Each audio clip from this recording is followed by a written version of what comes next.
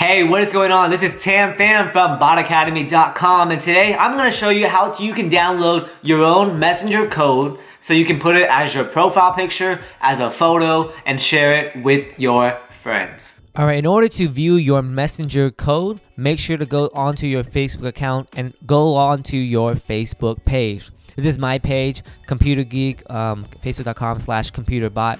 Just a sample bot I made up for um, productivity and health behind a computer. But to get your messenger code, you're gonna click on messages. At the very bottom, you're gonna see an I that says view response assistant and messenger code.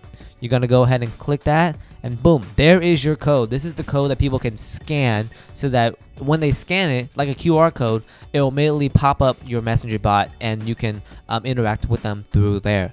And so this will great, make great for your profile picture. This can be great for um, a, a, photo on your page, um, just even like on your Twitter or just even on your actual personal page, just to get people aware that, hey, messenger bots are coming. This is my code. Uh, I'm in this space um, feel free to interact with my bot, interact with my company's bot, um, so that you can see what we're all about.